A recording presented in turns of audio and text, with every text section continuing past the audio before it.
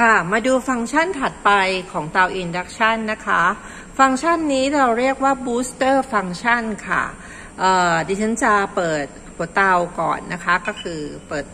Main Switch นะคะ เลือกหัวเตาแล้วก็เปิดเลเวลไหนก็ได้นะคะ Booster Function เนี่ย Booster Function จะมีอยู่ 2 แบบนะคะ แบบแรกนะคะก็คือ ตัวที่เป็นลูกกระทะ แล้วก็มีลูกศรออยู่ด้านบนนะคะฟังก์ชันนี้ใช้สำหรับการอุ่นกระทะให้ร้อนเร็วภายในครึ่งนาทีนะคะ ซึ่งจะทำให้กระทะร้อนอย่างรวดเร็วนะคะยกเลิกก็คือกดที่หัวเตาแล้วก็กดที่ฟังก์ชันอีกทีหนึ่งเพื่อจะยกเลิกนะคะ ส่วนอีกฟังก์ชันหนึ่งนะคะ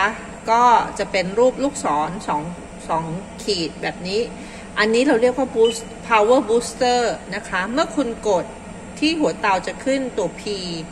ฟังก์ชันนี้เนี่ยเหมาะสำหรับการต้มน้ำปริมาณเยอะๆนะคะ ให้เดือดเร็วๆนะคะ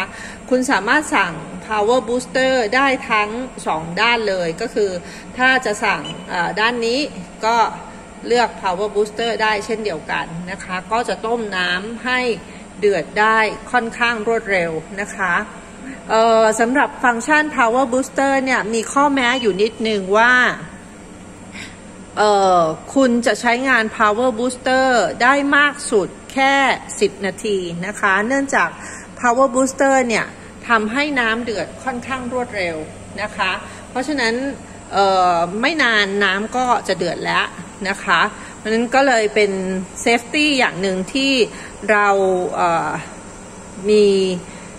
กำหนดมาในเครื่องว่าคุณจะใช้งาน power booster ได้มากสุดเท่าแค่ 10 นาทีเท่านั้นนะคะ แล้วก็หลังจากนั้นเครื่องก็จะถอยกลับไปที่ระดับความแรงที่คุณตั้งก่อนหน้านะคะ